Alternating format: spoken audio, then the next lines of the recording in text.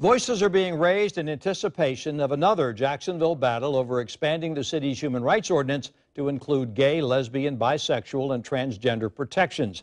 A sign of that is an actual sign that just went up along I 10. The controversial digital billboard is the work of a Texas group which is soliciting donations in order to fund what it promises would be $10,000 contributions to any city council member who votes in favor of LGBT rights.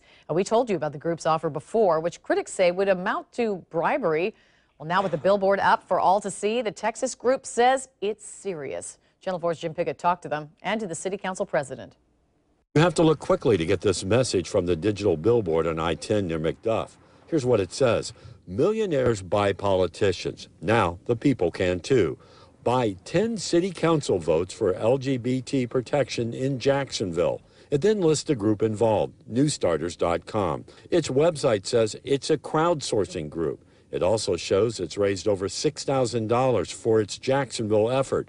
They hope to get $100,000, but say it's putting a $5 limit on donations per person. We were sort of tired of seeing one person with deep pockets able to one or two people with deep pockets able to to use that that power that that influence and that money to determine the outcomes of of many different things and so at the five dollar cap it sort of equalizes everybody. The group says it wasn't contacted by any side here in Jacksonville. It just wants people to have a say. But some city council members say it's saying the wrong thing. Their votes aren't for sale, and they believe this is illegal. I think that certainly is a is not a helpful signal. And Jim, we're going to see uh, a number of stakeholders enter into what is is going to be a, a very difficult uh, discussion going forward.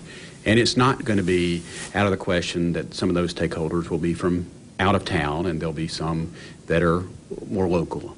And so this is just sort of the first example where we see uh, sort of out of town organizations uh, trying to play a role in, in this discussion. A lot of people are questioning this, and really not a lot of people have signed up for it, at least according to the organizers. But it's something they hope that will make a change, and it's something they're trying to do different. Jim Piggott, Channel 4, the local station.